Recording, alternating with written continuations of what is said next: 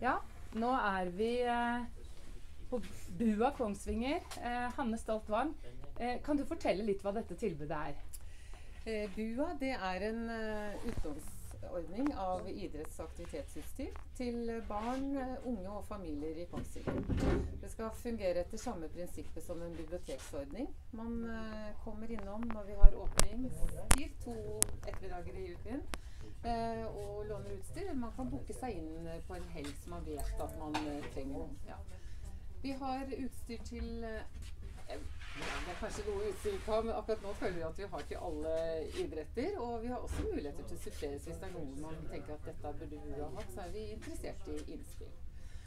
Og dette er et tilbud altså, som er helt gratis for uh, byens uh, Er det barn og unge? Det er helt gratis, eh, og det er eh, med formål om å skape aktivitet. Eh, Og Utgangspunktet er at aktivitet skaper vennskap og mestring, og det er et folkehelseperspektiv på det.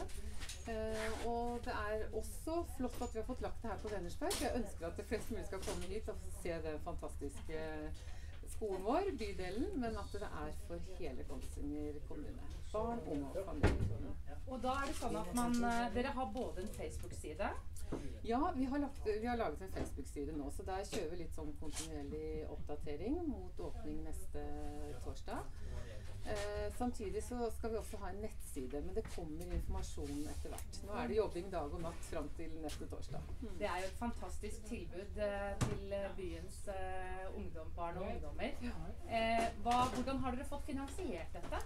Vi har søkt eksterne midler, så vi har fått to runder av 200 000. Eh, og har eh, satt av det til vi hadde en god pott eh, gjennom Venstre-prosjektet til å sette i gang dette tiltaket. Mm. Da får vi bare ønske dere lykke til i alt arbeidet som gjenstår fram til åpning neste torsdag. Og så må vi oppfordre alle byens barn og unge å komme hit og bruke dette utrolig fine tilbudet. Ja. Lykke til! Takk.